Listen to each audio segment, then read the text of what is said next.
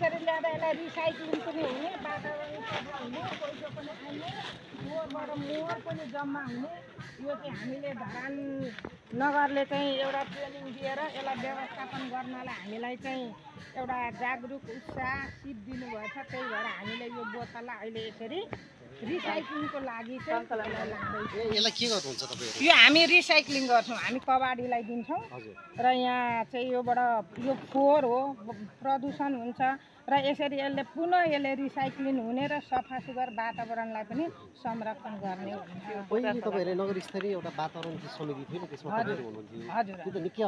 निकै अगाडिको कुरा हो। अब त्यो चाहिँ कस्तो कर्मचारी र हाम्रो पार्टी कार्यकर्ताहरूले त्यसलाई ध्यान नदिएर चाहिँ अहिले धरान नगरको करोडौँको बजेटहरू फोहोरमा चाहिँ व्यवस्थापन गर्न खर्च भइराखेको छ।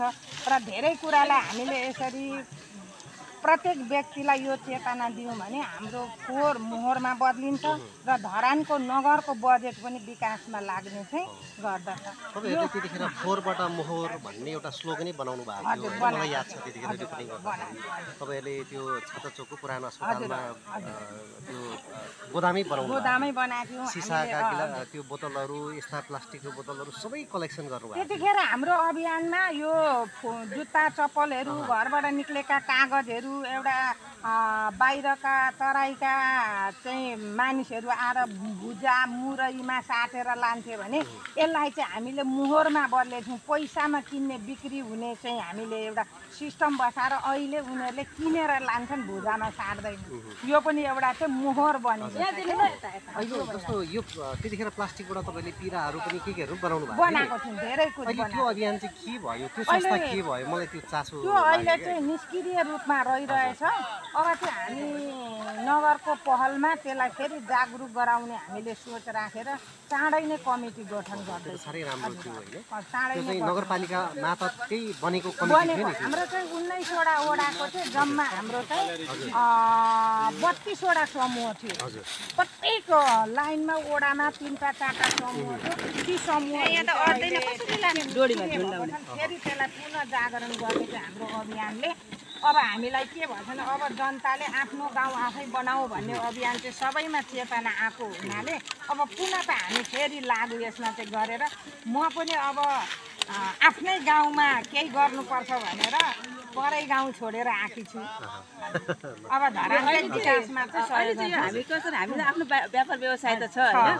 तर पनि हामीले यस्तो देख्ने बित्तिकै हामीलाई चाहिँ मन क्या मान्दै मान्दैन अनि किनभने तपाईँहरू पहिलेदेखि नै यो अभियान हुनुहुन्थ्यो नि धरानलाई सफा बनाउने अभियान फोहोर मुक्त बनाउने अभियान। बढाइराखेको थियौँ यहाँ आगो आगो अनि हाम्रो मनले मान्दैन हामी फेरि उ गरिहाल्छौँ यस्तो धुलो धुवाले यहाँ बसिराखेको मानिसहरूलाई पनि प्रदूषण हुने र यो डराउनु हुन्न भनेर भन्दाखेरि लु तिमी नै जिम्मा ल्याऊ भन्ने कुरा पनि थियो हामीमा। तर हामीले यसरी सङ्कलन गर्दै गर्दाखेरि दाइले पनि ओहो मलाई पनि पुनः मैले यो जिम्मेवारी लिएको थिएँ फोहोर व्यवस्थापन गर्नलाई पुनः मलाई पनि सहयोग भयो। कति राम्रो आइडिया तपाईँहरूको यसमा त हामीले सबैले सहयोग गर्नुपर्छ भनेर सबैको सहमतिले यसरी ल्याएको फोहोर तर योबाट त मोहर आउँछ नि होइन? पैसा पनि कमाउन सकिन्छ। यसमा चाहिँ कस्तो पहिले पहिले हामीले फोहोर व्यवस्थापन गर्दाखेरि मेरा आफन्त जेठाजीले पनि रत्नप्रसाद आचार्यको बुहारी गल्ली गल्ली गएर फोहोर उठाएर हिँड्ने तँलाई खान दिएन तेरा बुढा सही खान पुगेन म दिन्छु भन्ने कुरा पनि गरेँ। मेरो छोरा कलेज जाँदाखेरि तेरो आमा त कबाडीको काम गर्दो रहेछ कबाडी पो रहेछ पनि भन्ने भयो है। तर हामीले त्यसरी फोहोर सङ्कलन गर्दै हिँड्दै गर्दाखेरि धेरैलाई चेतना आएर अहिले घर घरबाट फोहोर बाटोमा फालिँदै बोरामा उठाएर नगरपालिकामा दिन्छ भने अहिले अलिकति हामीलाई कहाँ असर छ भने हाम्रो धरान बजारलाई नियन्त्रण गर्न सकिएको छैन र त्यो धरान बजारको जुन त्यो बिहानै मर्निङ वाकमा हिँड्दाखेरि फोहोरको डिङ्गो हुन्छ हाम्रो मन रुन्छ त्यो देख्दा वातावरण। हावा खान हिँडेको तर स्मेल सुगन्ध लिँदै हिँड्नुपर्छ। त्यसलाई पनि हामी नगरसँग र हाम्रो पत्रकार बन्धुहरूले साथ दिनु भने त्यसलाई पनि नियन्त्रण गर्ने पहलमा चाहिँ लाग्दैछौँ। हाम्रा दिदीबहिनीहरूलाई गुड बनाउँदैछौँ। धेरै फोहोर घरबाट निक्लिने हुँदाखेरि महिलालाई अग्रसर नबनाइकन फोहोर व्यवस्थापनमा सुधार आउँदैन। र नगरपालिकाको बजेट। हजुर। मेरो नाम चाहिँ करुणा आचार्य श्रेष्ठ। मेरो बिजनेस चाहिँ म थेरापी चलाउँछु होइन? नेपाल अधिराज्यभरि म भिजिट गर्छु।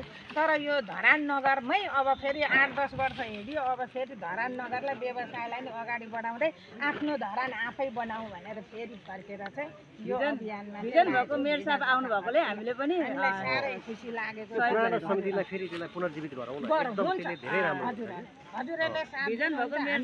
भएकोले हाम्रो भिजन पनि ठ्याक्कै मिल्ने भएर हामी चाहिँ अब शनिबार चाहिँ हामी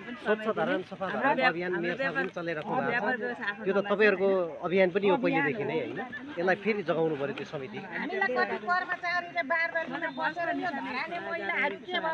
बुढोले कमाएको खाएर दिनभरि नगरपालिकामा आएर यी हल्ला गर्छन् भन्नुहुन्थ्यो। उहाँलाई मैले यस्तो जवाब त्यतिखेर दिएँ यो धरान हाम्रो। तपाईँले पैसाको जागिर गर्नुभएछ हामी धरानको जागिर गरेका हौँ। यो धरान हाम्रो स्वच्छ भयो भने हामी स्वच्छ हुन्छौँ हाम्रो सन्तति र सम्पत्ति स्वच्छ बन्छ। यो भिजन हाम्रो हो तपाईँले होइन हाम्रो खुसीले यहाँ नगरपालिकामा आएर हामी कार्य गर्दैछौँ भनेर पनि जागरुक